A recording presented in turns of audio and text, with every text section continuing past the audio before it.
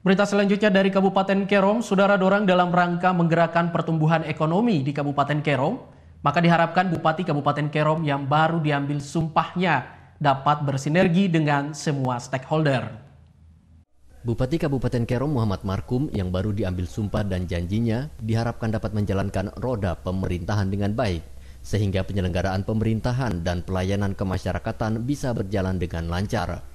Selain itu, Bupati diharapkan dapat membangun sinergi dengan semua stakeholder yang ada di Kabupaten Kerom untuk bersama-sama membangun Kabupaten Kerom guna mempercepat pertumbuhan ekonomi di daerah tersebut dan dapat bersaing dengan daerah lain di Papua. Hal inilah yang disampaikan Wakil Gubernur Provinsi Papua Clementinal dalam arahannya usai pelantikan dan pengambilan sumpah janji Bupati Kabupaten Kerom Muhammad Markum di Gedung Negara Dok 5 Atas Selasa 20 Februari 2018 kemarin.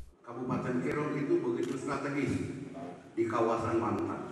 Dengan kedudukan yang strategis itu, saya berharap Saudara Bupati dapat bersinergi dengan semua stakeholder di Kabupaten Kerom sehingga dapat menggerakkan pertumbuhan ekonomi bagi masyarakat Kabupaten Kerom. Sejenak kita melihat di sana ada potensi perkebunan, pertanian, peternakan. Di Kabupaten Kerom sangatlah menjanjikan dengan bentangan gunung, pebukitan, dan lahan yang sangat luas. Semua ini jika dikelola secara baik akan menjadi salah satu daerah yang potensial mengembangkan perkebunan, pertanian, dan peternakan sehingga sudah tentu akan membawa manfaat positif bagi masyarakat di Kabupaten Kerom. Selain itu, Wakil Gubernur juga berpesan agar Bupati Kerom melalui SKPD terkait dapat menindaklanjuti status lapangan terbang yang berada di Senggi, serta ikut berpartisipasi dalam mensukseskan Pekan Olahraga Nasional ke-20 karena KONI Provinsi telah mendorong KONI Pusat agar salah satu venue cabang olahraga dibangun di Kabupaten Kerom.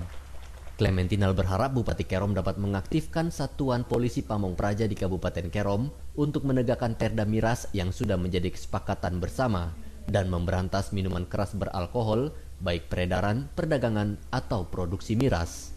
Freddy Nuboba, iNews Jayapura, memberitakan. Diduga melakukan pemerasan, PT PLN Cabang Timika dilapor manajemen Rumah Sakit Mitra Masyarakat Karitas. iNews Papua akan kembali setelah kita lihat yang satu ini.